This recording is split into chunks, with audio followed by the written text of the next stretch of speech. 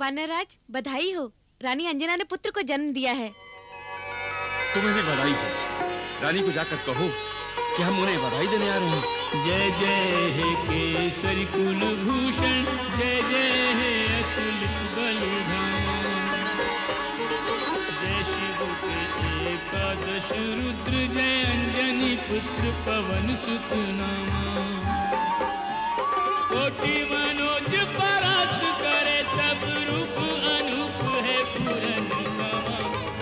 करके सफल नैना में दर्शन करके सफल नैना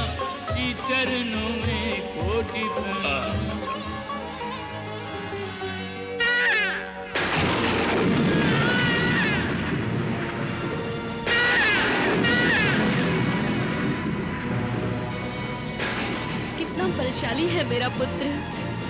बूबूत्कार कर रहा है। अंजना इसकी भूतकार बता रही है कि हमारा पुत्र महाबलशाली और महापराक्रमी होगा। ये ये ये किसी से भयभीत नहीं होगा। किसी से भयभीत नहीं होगा। आपके कहने का तात्पर्य यह है परमपिता। कि रावण के यहाँ पुत्र का जन्म और केसरी के यहाँ महादेव शिव शंकर के अंशावतार का जन्म। प्रभु ने सृष्टि का संतुलन बनाए रखने के लिए किया है। हाँ वत्स। एक ओर राक्षसी शक्ति और दूसरी ओर दैविक शक्ति का उदय होना प्रमाण है इस बात। किंतु ये संतुलन तो रावण और कुंभकर्ण के जन्म से ही बिगड़ गया था। नहीं वत्स। उनके जन्म से नहीं। ये संतुलन बिगड़ा है। जब से रावण के मन में आसुरी महत्वाकांक्षा उत्पन्न हुई है जब से अहंकार उसके सर चढ़कर बोलने लगा। अब तो अवतार लेंगे साक्षात प्रभु उस अहंकारी का नाश करने के लिए और रावण का अंत करने के लिए। और ये त्रिशूलधारी के अंशावतार क्या करेंगे? इन्होंने जन्म ही लिया है। प्रभु की सहायता करने के लिए। ये सहायता करेंगे प्रभु की, केसरी और अंजना के पुत्र। इन्हें साधारण वानर मत समझो नारद अभी पाँच वर्ष की आयु नहीं हुई इनकी और देखो देखो कैसे अपनी शक्ति का परिचय देने जा रहे हैं। देखो नारद।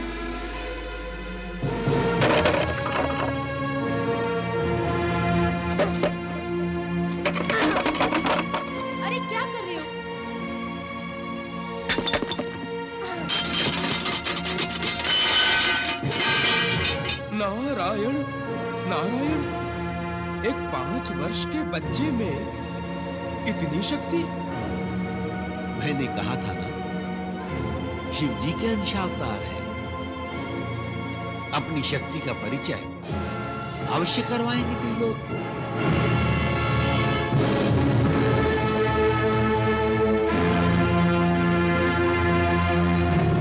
मैं कहता हूँ, मुझे भूख लगी है, मुझे खाना दो। तुम बचपन से ही ऐसा करते हो। खाने के बाद फिर और खाना मांगते हो। यदि मेरा पेट नहीं भरता तो मैं क्या करूँ? नहीं, फिर से तुम्हें खाना नहीं मिलेगा। तो फिर ठीक है। अरे, कहाँ जा रहे हो? मुझे पता है, तुम्हें भोजन बनाने में आलस आता है। मैं फल तोड़ के खाता हूँ। अरे, रुको।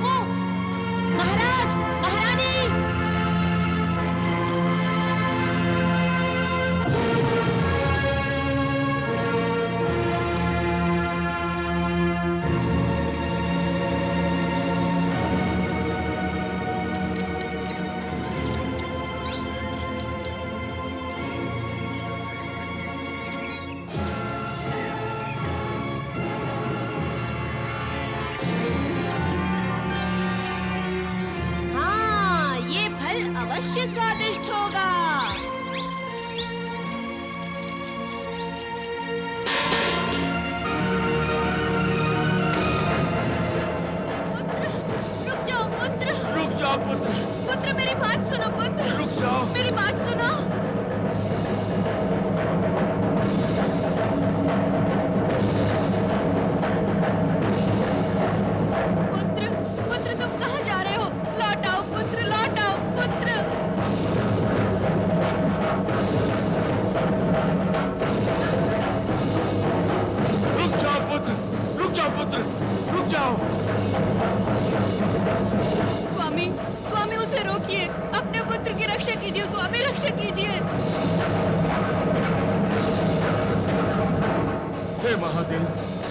हे महादेवादिदेव हमारा पुत्र आपके आशीर्वाद की देन है।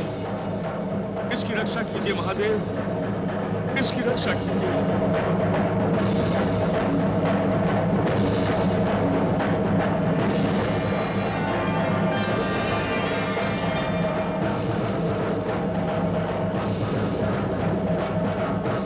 नारायण नारायण। पिताश्री, ये बालक तो बहुत समीप जा रहा है सूर्यदेव के। और उनके तेज का उस पर जरा भी प्रभाव नहीं पड़ रहा है। साक्षात रुद्र को क्या प्रभाव हो सकता है सूर्य का तो क्या वो सूर्य देव तक पहुँच जाएगा?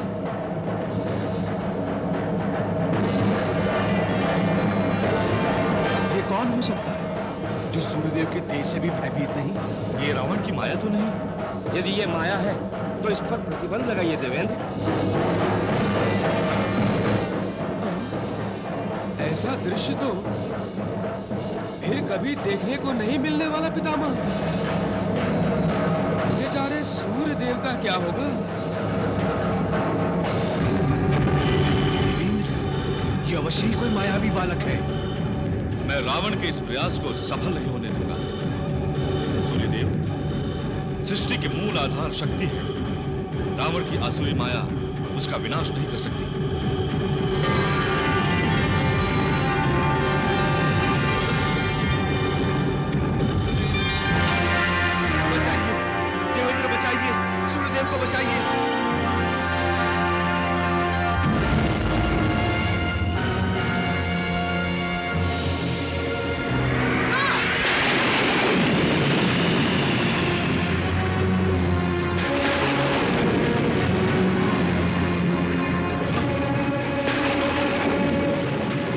देवेंद्र, ये आपने क्या किया? पवन पुत्र पर वज्र चला दिया। मैं इसी पल संपूर्ण सृष्टि की वायु रोक रहा हूँ।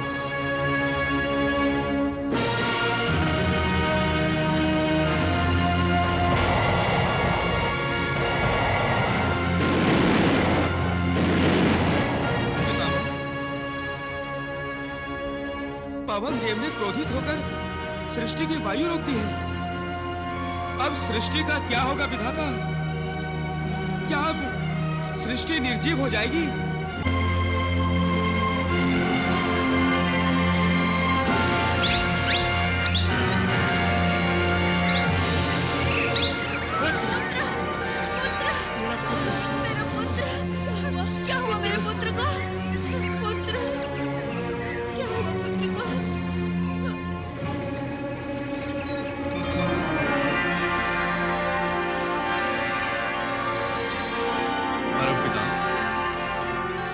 कीजिए। मेरे वज्र प्रहार के कारण वायुदेव ने क्रोधित होकर संपूर्ण सृष्टि की वायु रोक दी है। मुझसे भूल होगी पितामह। मुझसे भूल हो गई। देवेंद्र केसरी नंदन साक्षात महादेव के अंश है। भोलेनाथ के आदेश से ही रुद्र और वायुदेव ने एक प्राण होकर अंजना के गर्भ में प्रवेश किया था। इसलिए अंजना का पुत्र एक अर्थ से पवन पुत्र भी है। वायुदेव के क्रोध को हम कैसे शांत करें? सृष्टिवासियों की रक्षा का उपाय बताइए प्रभु। देवेंद्र वायुदेव से क्षमा याचना करो। अंजना सुत केसरी नंदन को अभय दो वरदान दो। वायुदेव शांत हो जाएँगे।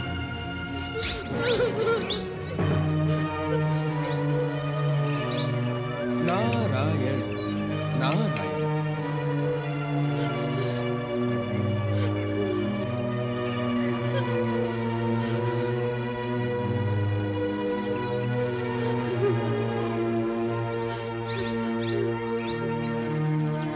वायुदेव, मैं आपसे क्षमा याचना करने आया आपके दंड का अधिकारी मैं हूँ। आप तो सारी सृष्टि को दंड दे रहे हैं। कृपया मेरी भूल को क्षमा करें, वायुदेव। जब तक केसरी नंदन स्वस्थ नहीं हो जाता, मेरा क्रोध शांत नहीं होगा, देवेंद्र। नारायण नारायण। केसरी नंदन तो स्वस्थ ही है, वायुदेव। उठो, केसरी नंदन। यदि मैं प्रभु की भक्ति सच्चे मन से करता हूँ तो हे केसरी नंदन, उठिए। केसरी नंदन उठिए अंजना सुत। उठिए।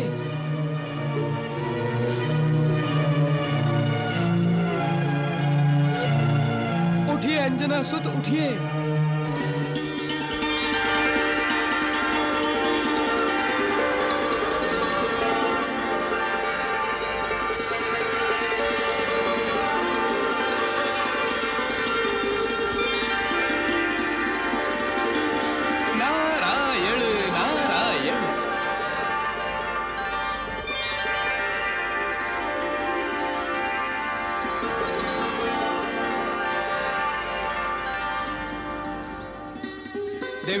वज्र का प्रहार इस बच्चे की हनु अर्थात ठोड़ी पर हुआ है। इसीलिए यह बालक जगत में हनुमान के नाम से प्रसिद्ध होगा।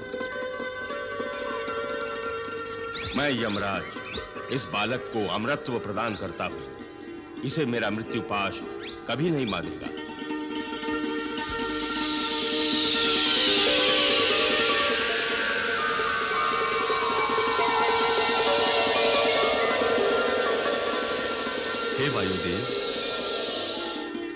हे वानरराज केसरी, हे महारानी अंजना, मैं देवेंद्र, इस बालक को वर देता हूँ कि ये वज्र के भयंकर प्रहार को भी सहज सहन कर लेगा। ये वज्रदेही होगा।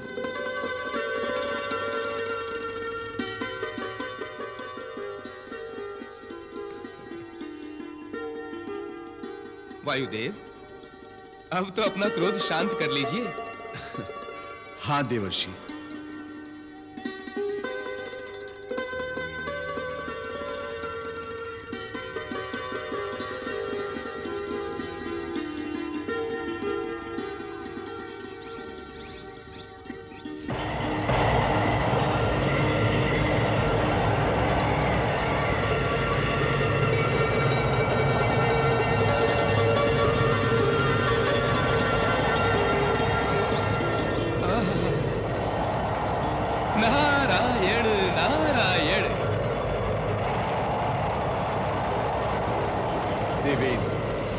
मुझे क्षमा कर दीजिए। क्षमा तो मुझे मांगनी है हनुमान से।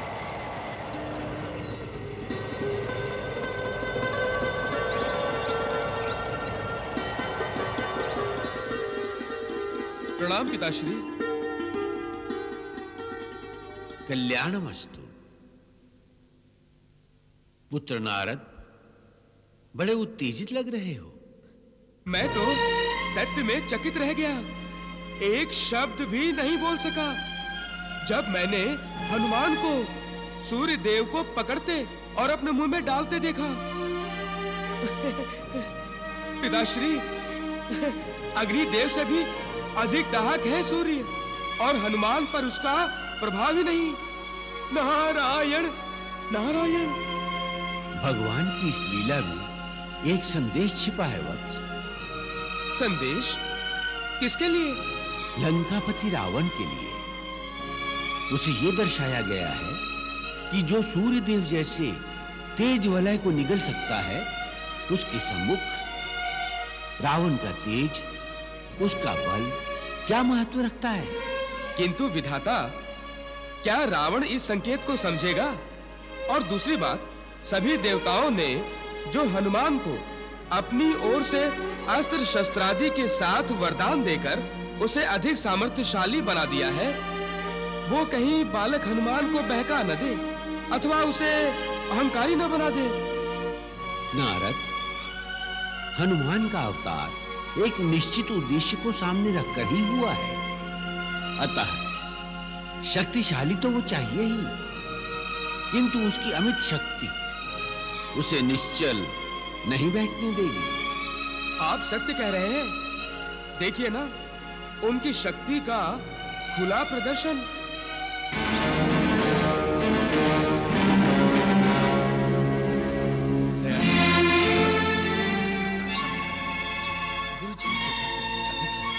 अवश्य अवश्य। यही शब्द मैं दोहराना चाहता हूँ।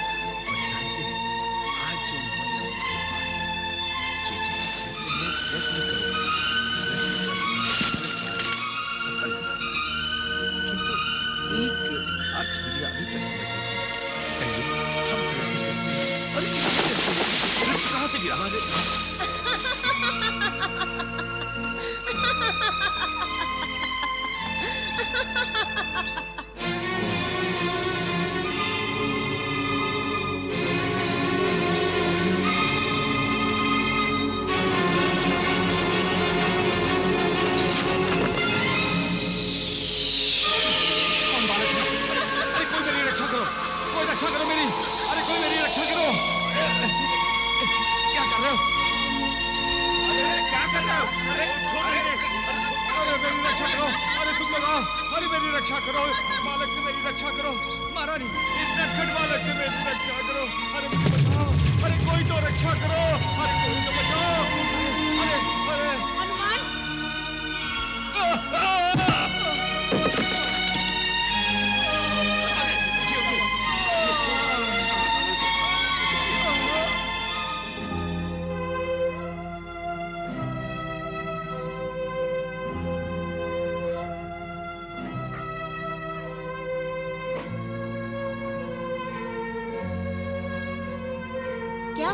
हुआ श्री आप क्रोधित क्यों हुई है?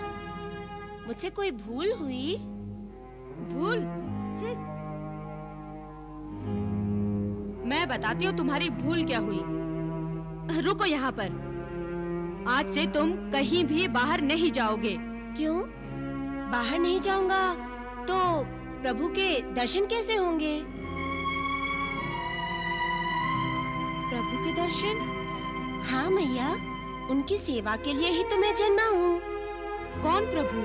किसकी सेवा की बात कर रहे हो तुम? हनुमान, तुम तो स्वयं महादेव शिव शंकर का साक्षात आशीर्वाद हो। अन्यथा सूर्य देव को कोई निकल सकता है? देवेंद्र स्वयं देवताओं के साथ तुम्हारे दर्शनों के लिए यहाँ उपस्थित हुए थे। मैं तुम्हारी माँ होते हुए भी ये नहीं जानती पुत्र कि तुम कौन हो। क्या मुझे तुम अपना सत्य स्वरूप नहीं दिखाओगे? माता श्री मेरा सत्य स्वरूप देखकर आप भयभीत हो जाएँगी। नहीं होंगी भयभीत। अच्छा तो ये देखो।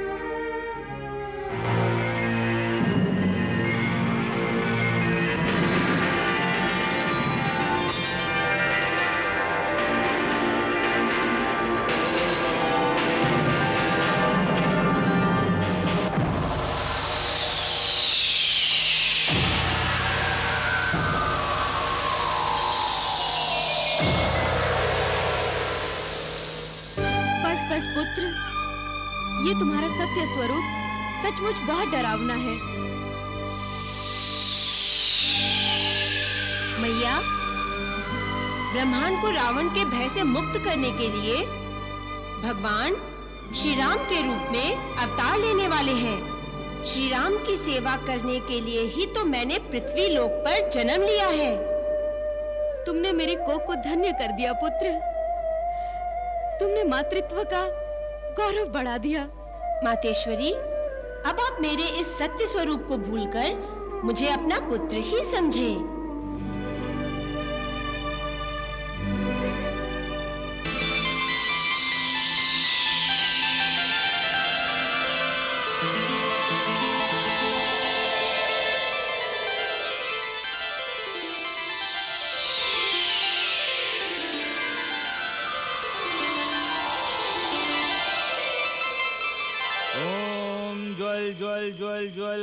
स्वाहा ओम ज्वल ज्वल ज्वल ज्वल अग्नि स्वाहा ओम ज्वल ज्वल ज्वल ज्वल अग्नि स्वाहा ओम ज्वल ज्वल ज्वल ज्वल अग्नि स्वाहा ओम ज्वल ज्वल ज्वल ज्वल अग्नि स्वाहा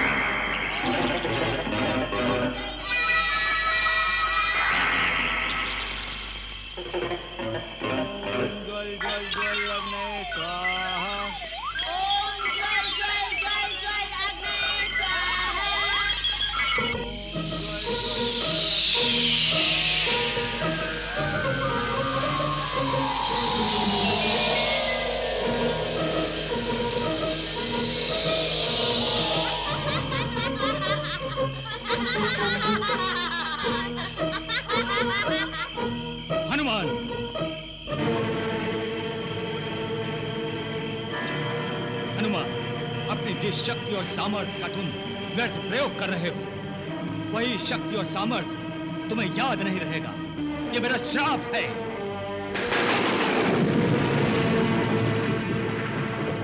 जब तक तुम्हें स्मरण नहीं कराया जाएगा, तुम अपनी शक्ति और सामर्थ्य भूल रहोगे। अंगिरा ऋषि के श्राप के बाद हनुमान को अपनी शक्ति का ज्ञान नहीं इस बीच राक्षस राज रावण के अत्याचार इतने बढ़ गए। कि सृष्टि, त्राहि त्राहि पुकार उठी देवर्षि नारद से यह देखा नहीं गया और वो सृष्टि की करुणामयी पुकार लेकर त्रिदेवों की शरण गए।